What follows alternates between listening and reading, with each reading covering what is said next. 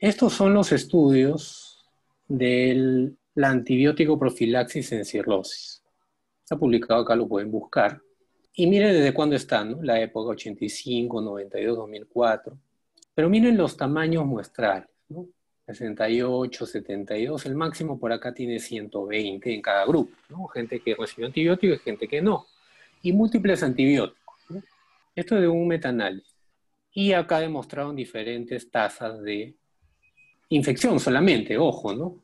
Acá, ¿cuál fue el origen de esta recomendación de uso de antibióticos en sangrado? Fue prevenir infección.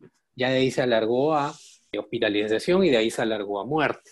Claro, una infección te puede hospitalizar, lo cual te puede traer complicaciones, pero el origen es la infección. O sea, mejor dicho, el objetivo principal fue disminuir la infección. Y acá ven diferentes, ¿no? Tamaños muestrales y también diferentes esquemas antibióticos algunos comparando sin antibióticos y otros comparando con algún otro antibiótico. Esto es la, probabilidad de infección versus ceftriaxona versus norfloxacin.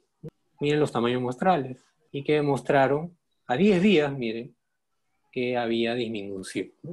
Esta es la población de ese estudio, la edad, pero miren, ¿no? otra, otra variante. ¿no? En esa época había más cirrosis por alcohol, a diferencia de nuestra época en primer lugar, habían pacientes más Child B y Child C, pacientes con más asitis, más de 80%, y la población es diferente probablemente a la que tenemos ahora. Y esto es de otro estudio, me olvidé poner la bibliografía abajo, en la cual es del metaanálisis, ¿no? que es, pone todos los estudios y la posibilidad de sesgo. Y varios tienen posibilidad de sesgo. Acá ninguno es ciego, y pocos hicieron el análisis de intención a tratar y casi ninguno hizo cálculo de tamaño muestral. El origen ¿no? de este paradigma de dar antibióticos es de este estudio.